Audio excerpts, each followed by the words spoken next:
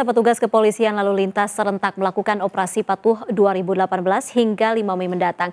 Di Bojonegoro, Jawa Timur, seorang pelajar menangis setelah terjaring razia karena tidak membawa perlengkapan surat izin mengemudi.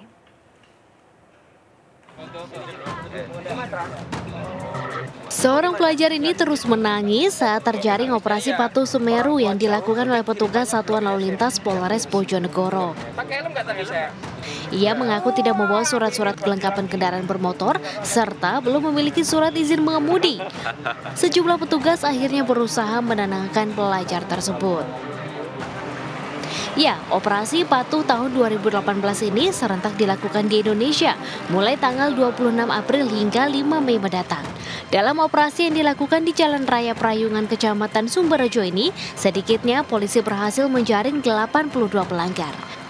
Kenapa kita tempatkan di daerah ini kita pilih karena desa Prayungan ini merupakan salah satu titik black spot yang cukup tinggi angka kecelakaannya. Ya, karena sebenarnya kecelakaan itu kan berawal dari pelanggaran, ya, pelanggaran yang dilakukan oleh pengendara. Para pelanggar tersebut kemudian dilakukan penindakan sidang di tempat. Dalam operasi patuh ini, petugas melakukan sidang di tempat dengan melibatkan pihak pengadilan kejaksaan serta pihak bank untuk pembayaran denda. Dari Bojonegoro, Jawa Timur, Dedi Mahi, iNews melaporkan.